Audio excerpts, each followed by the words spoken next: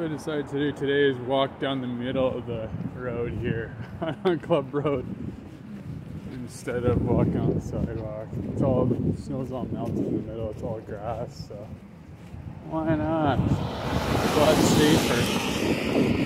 This says natural gas pipeline. I guess they buried the natural gas here. I guess they won't be widening the road here. These have a clear walking path at least three quarters of the way there. Actually, I just noticed it. On this side, it's actually clear. I can cross over to this sidewalk. I didn't even look over. I was looking on the other sidewalk. The other sidewalk's full of snow still, but this sidewalk isn't. So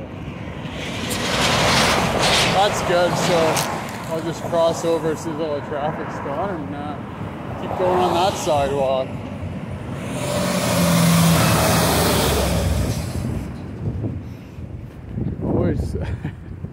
I didn't even look. All I saw is the all the snow was melted off in the middle here, and I'm like, oh, there's a lot on here. Didn't even think about looking at the other side of the sidewalk.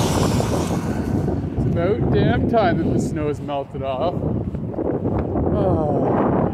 Anyway, so I'm gonna be walking to Timmy's, have a nice breakfast on my refeed day.